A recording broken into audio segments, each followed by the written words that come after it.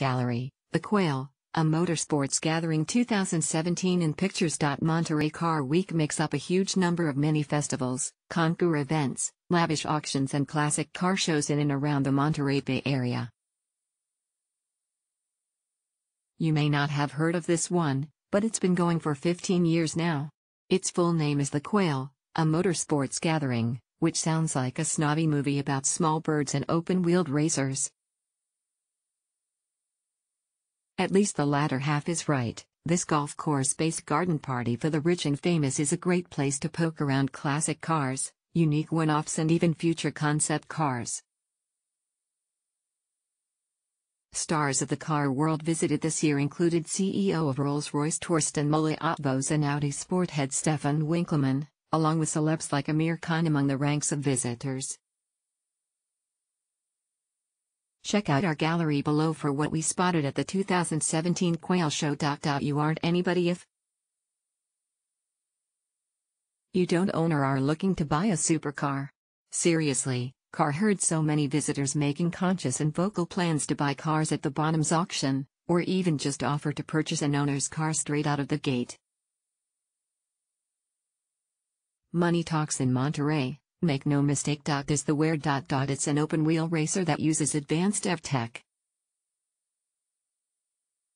We think it looks, erm, odd for an Infiniti, but we'd love to drive it all the same. To the wonderful. Like this coach built Ford Cabriolet complete with side opening engine hatch. New cars are shown, too. Like the new Porsche 911 GT2 RS. We've been for a ride already, but boy does it look ace. Even some stillborn concepts get a look in. Dot remember the 2004 Shelby Cobra concept? This naughty's take on the AC Cobra didn't go any further than the prototype stage. Plenty of old silly cars were there, too. This Fiat Jolly stole our heart. Picnic, anyone? Plus plenty of bespoke crafted ones, too. This coach built Ferrari 599 Spider got a lot of attention.